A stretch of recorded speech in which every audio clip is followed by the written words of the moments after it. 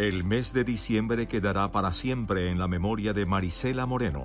Como si fuera un regalo de Navidad, a Marisela le cayó del cielo el título que la hizo dueña de la vivienda que venía habitando durante muchos años en el barrio Villa Ester, etapa 1 en Tauramena, Casanare. Llegar a ese momento en el que se legalizó su propiedad fue para Marisela el fin de una lucha muy grande que pasó incluso por el periodo de incredulidad que caracteriza toda expectativa. Los cuatro meses de espera después de su postulación y entrega de documentos parecieron por momentos una eternidad. Pero una vez el sueño se hizo realidad, esos mismos cuatro meses fueron tan fugaces como la travesía de un meteorito.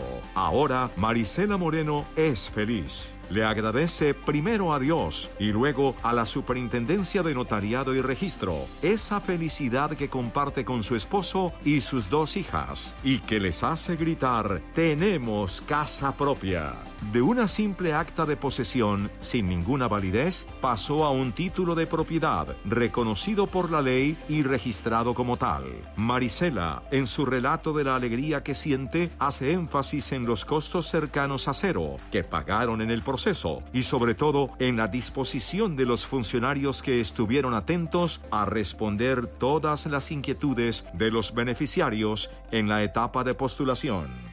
Villa Ester, en Tauramena, es un barrio de casas de interés social, construido en varias etapas. Sus habitantes son ciudadanos de bajos recursos que llegaron allí con el apoyo del Estado, entre ellos Marisela, una madre cabeza de familia que para entonces solo tenía en sus dos hijas la fuente de amor que le dio las fuerzas necesarias para iniciar el camino de la titulación de lo que ella llama mi casita.